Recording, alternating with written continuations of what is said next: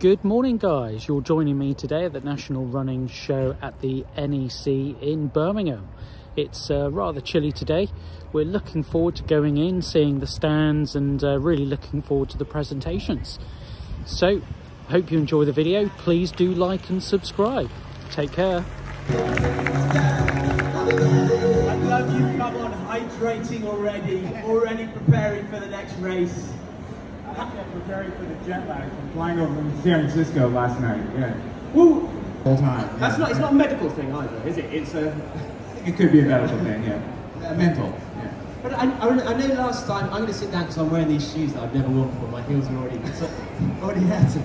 Um, so, um, last time we were here, you mentioned that coming to the run show was like an incredibly intense experience. Partly the jet lag, partly being exposed to so many people in such a short, um, short frame of mind. Like, how do you how do you view that experience now?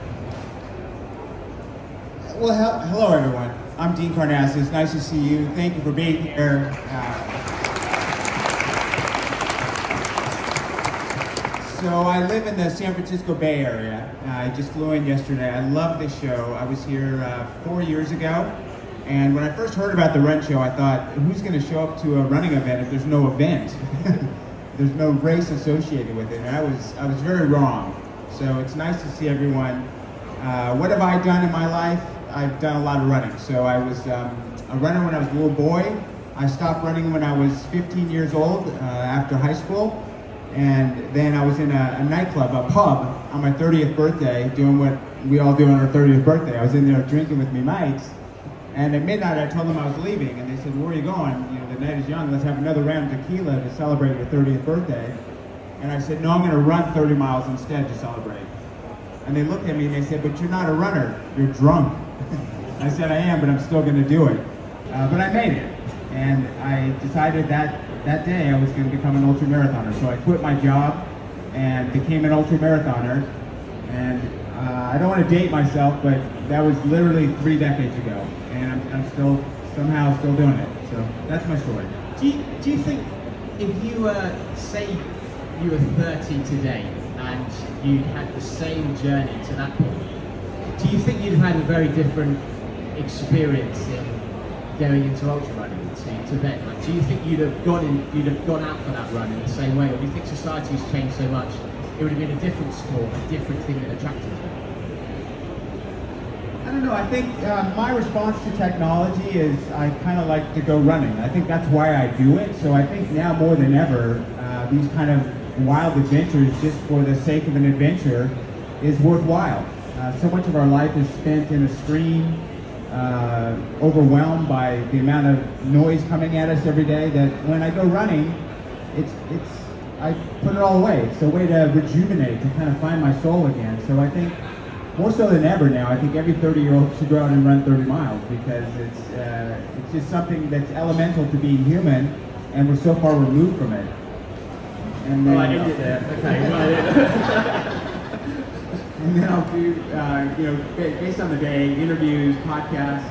Uh, um, I've got a couple books that are in the works. I've got a movie script I'm writing. So the, the good thing is it's all kind of on my schedule. Unless I have to get on a plane, I really don't get hard, uh, you know, get timelines I got to keep except for what I schedule. are, you the, are you the same with like writing and doing things that are non-running in, in the same way? Do you bring the same mentality to that? Are you able to translate it, or is there anything that you struggle with? Is what I'm asking. Well, you know, one thing I do is I do, I guess you call it multitasking. I do a lot of writing while I'm running. So I have a digital recorder. Now I have an iPhone with an earbud. Because I think you'll agree, we have some of our clearest thoughts when we're out running. So I find that if I dictate while I'm running, um, then I can come home and just type up my notes. Or on a flight, I'll just, on my flight over here, I was typing up all my notes. And people say, "Wow, I was, you know, you, I felt like I was right with you um, in my, in when I read your books."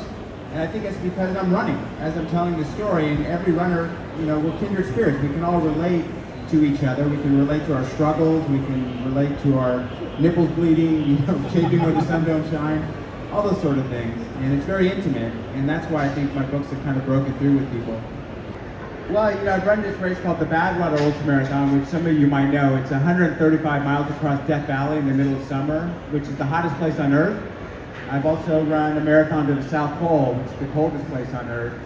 Uh, I've run 50 marathons in 50 states in 50 days. Um, you know, I've raced and competed on all seven continents three times now. But my pinnacle race, and I'll never live this race down, is doing a 10K because I did a 10K with my daughter Alexandria on her 10th birthday. And to me, that was nothing will ever surpass that. Yeah. And do you think, is she getting the running bug as well? Is she going to follow in your footsteps? I hope not. I have two kids, Alexandria and my son is Nicholas, and they both love to run, but they're not competitive. I mean, they, uh, they just run for the sake of enjoying running. Uh, my son Nicholas ran a marathon. He said, uh, Dad, I want to run a marathon when I turn 14. This when he's 13. And I said, Nicholas, you don't just run a marathon. There's this thing called training. He's like, okay, I'm going to train. And the Did next he get day- down the pub and have loads of drinks like like his dad? Was that his?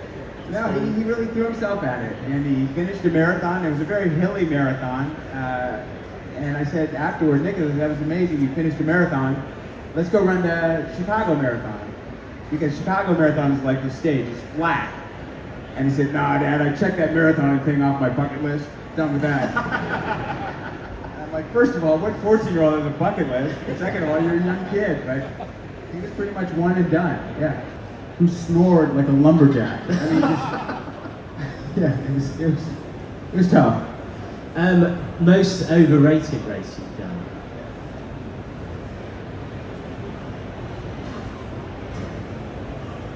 I think the Boston Marathon. I, I don't want to diss Boston because I love the Boston Marathon. I, and uh, the, the race director is a good friend of mine, David. Well, he used to be. He used to be. and I, I've done Dean, this is Boston in London. I think I think everyone should do Boston once, and you should do New York City once. You should do London once. But I think um, I think Boston's maybe a little. It's it's you know it's it's, it's Boston, so it's very celebrated, but it's it's still it- it's not you know it's it's a, it's a road marathon. And the thing with Boston is like when I walk around the show, I'll see people, will say hi and how's it going? I haven't seen you in years. You see people you haven't seen for 15 years at Boston. They're like, what's your race goal? Like that's all to know. What's your? You can try to back break three hours. So everyone just all they're concerned about is their time at Boston, which has its place, but I think once for me. Yeah. And do you, do you think that element of um, comparison is creeping into ultra now as well? Um, now that people are improving, people, there's far more people taking it more seriously. Or do you think there's still that space amongst ultra runners where you can just enjoy it without having to see who's the faster runner? I think ultramarathoning has changed recently a whole lot, especially in the states. Uh, there's this element of competitiveness, but it's still a very small percentage of the people that are out there actually trying to win the race that are racing, maybe five percent at most. But now a lot of these races, there's such a great sense of camaraderie and community. And you know, these you'll come to an aid station in the middle of the night, they'll have themes. You know, there might be Hawaiian dancers, there might be men in high heels, you know, that kind of thing. Um, so what would you say is your biggest mistake in a race? When you're traveling to a race, uh, never take a sleeping pill and a laxative before the race. Life advice, yeah. I don't think people needed that. I think don't jump off cliffs. You know, it's up there with that. Um, and what would you say is your lowest moment in a race, and lowest moment in a way that didn't turn into a positive, but was just low? He's going really going for the sobbing here. So No, when I ran uh, 50 marathons in 50 states in 50 days, I, I did a race in Alaska. So I had to take a plane. If anyone knows the U.S., there are two states that are not connected. One is Hawaii. So I, after finishing the marathon in California, I swam to Hawaii and did that. And I got on a plane and flew to Hawaii, where it's very hot and humid. Then I flew to Alaska, it was, we were in a snowstorm. And then the next day after that, we flew to Arizona for uh, the marathon. Arizona is a desert, so it's very hot and very brutally windy, sandstorm. And at the end of the, that marathon, I'll never forget. The next day, I woke up and I couldn't even get out of bed. And I thought, I can't get out of bed today. How am I going to run a marathon? And that was marathon number 19.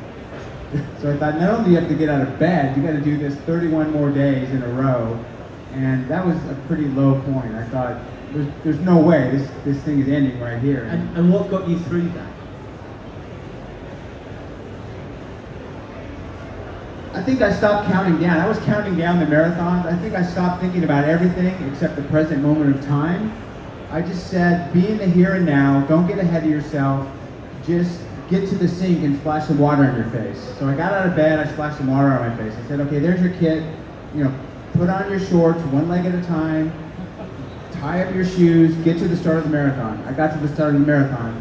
The gun went off. I said, there's there's not 26 miles you know, there's one step. And I just said, put your next footstep in front of the last to the best of your ability.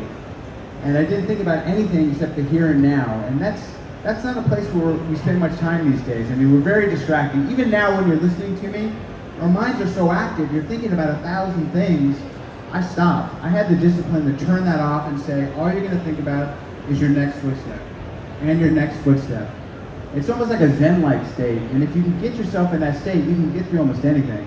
Just being, just being watched and you know, being in the public eye, does that have any impact on that as well? Because I think you know a lot of people who you know, set out to do uh, you, know, you know, huge multi-day ultras, run across country, things like that, they normally don't get the media attention you know that that they normally get until right at the end of the race when it looks like they're going to complete it. And you get attention from the start when you say you're going to do something. Does that play any part at all in the in the way that you think in terms of motivation, anything, or did you manage to shut all of that out? it makes me run faster. Most of the reporters I can outrun, so you know, if I start getting tired, I just do pick up the pace a little bit. But yeah, probably my funniest experience is um, one time I was running uh, across California, and I had like um, it was it was the equivalent of the Howard Stern show. So Oh, it was a radio show in, in Los Angeles, it's very popular, and they were doing a live interview as I'm running, and this is when cell phones first came out, and I was trying. They were very serious, and I was trying to be very serious, and I got attacked by a dog. So I'm running, just beating off this dog, and they're, and they're hearing in the background, like, they're like, "Are you okay? Are you all right?" And finally, I said, "I'm being attacked by a dog right now. I'm sorry." Well, guys, I hope you've enjoyed the video of the National Running Show at the NEC in Birmingham. And uh, please do comment below the video if you've been to the running show and uh, tell me what your highlights were.